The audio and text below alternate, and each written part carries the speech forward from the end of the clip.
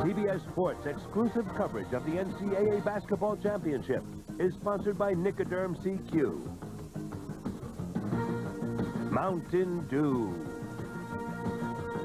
Pontiac Bonneville. And by Dean Witter.